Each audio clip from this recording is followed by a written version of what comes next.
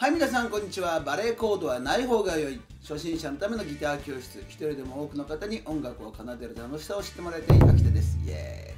今日はですね昭和アニソンシリーズになりますね。宇宙戦艦ヤマトやってみたいと思います、えー、この動画最後まで見ると宇宙戦艦ヤマト弾けるようになっちゃいますんでぜひぜひ、えー、見て練習してください。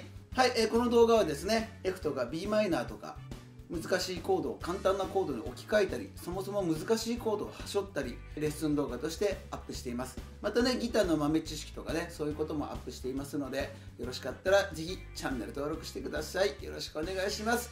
はいそれではですね宇宙戦艦ヤマトレッスン動画いってみたいと思います。どうぞ。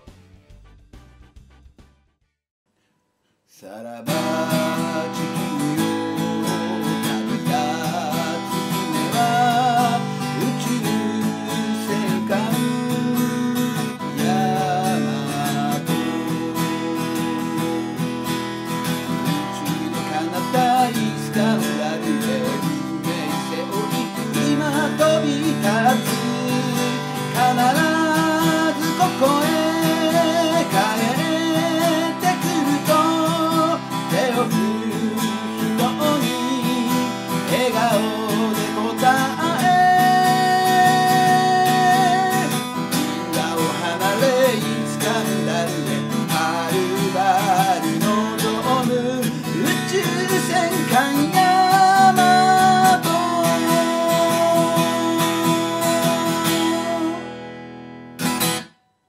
宇宙戦艦ヤマトねレッスン動画見ていただきました。この動画を YouTube の機能を使って遅くしたり早くしたりして再生することができます。はいでは宇宙戦艦ヤマト出てくるコードを確認したいと思います。まずは G e マイナー。D a マイナー。はい、えー、この5つがアコギ弾き語り基本コード5のうちの5になります。ここにね、リンク貼っておきますので、リンクをたどった押さえ方を確認してください。それ以外に3つありまして、まずは A、B7、E、はい、それぞれ押さえ方ですけれども、A ですね。A は4弦の2フレットに人差し指。3弦の2フレットに中指。2弦の2フレットに薬指。5弦から弾きます。は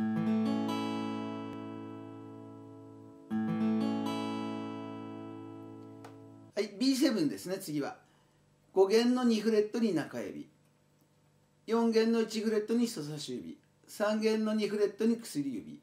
1弦の2フレットに小指。5弦から弾きます。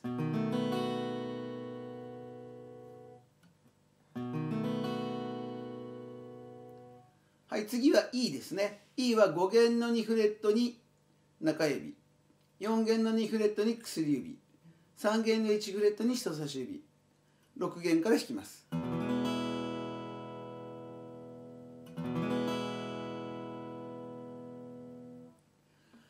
はい次はストロークですね。えストロークはですねこう8ビートの基本パターンでいいと思います。典型的な8ビートパターン。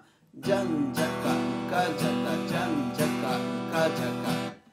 1と2と3と C との1の音と3の頭を弾かない。ジャンジャカンカジャカ。ンを弾かないパターンですね。ジャンジャカカジャカジャンジャカカジャカ。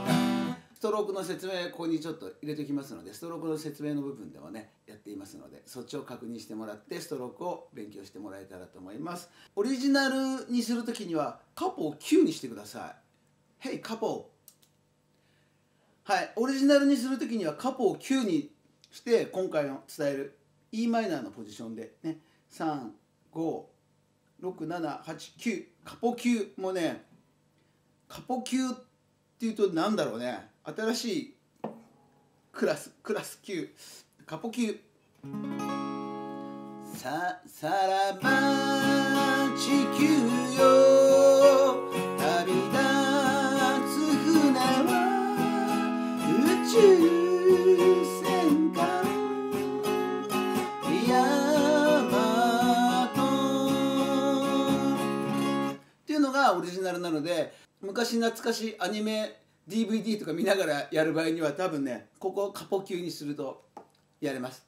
僕は今回カポなしの e マイナー、ね、これでやっています。